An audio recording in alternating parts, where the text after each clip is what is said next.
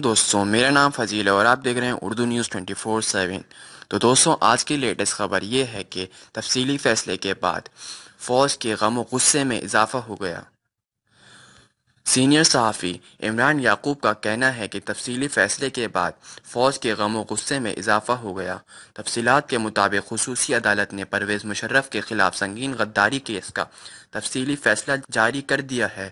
تفصیلی فیصلے میں جسٹس وقار احمد سیٹ کا کہنا ہے کہ پرویز مشرف پھانسی سے قبل انتقال کر جاتے ہیں تو ان کی لاش کو ڈی چوک پر لایا جائے گا اور تین دن تک لٹکایا جائے گا۔ اسی پر تجزیہ پیش کرتے ہوئے سینئر صحافی عمران یعقوب کا کہنا ہے کہ جسٹس وقار احمد کے اس فیصلے سے دوسرے جج نے بھی اختلاف کیا۔ اس فیصلے پر دو جج ایک طرف تھے، جبکہ ایک جج ایک طرف تھا۔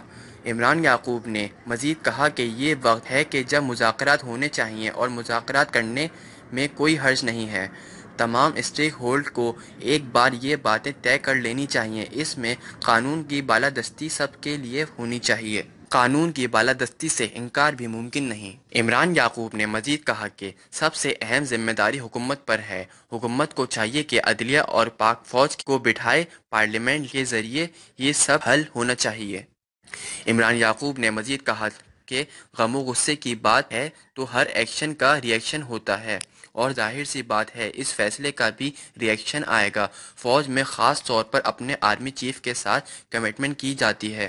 میں یہ سمجھتا ہوں کہ فوج کے غم و غصے میں اب مزید اضافہ ہوگا۔ خیال رہے کہ خصوصی عدالت نے پرویز مشرف کے خلاف سنگین غداری کیس کا تفصیلی فیصلہ جاری کر دیا ہے۔ تفصیلی فیصلے میں منجسٹرز وقار احمد سیٹ نے کہا ہے کہ پرویز مشرف پھانسی سے قبل انتقال کر جاتے ہیں تو ان کی لاش کو ڈی چوک پر لٹکایا جائے گا اور تین دن کے لیے ڈی چوک پر لٹکایا جائے گا۔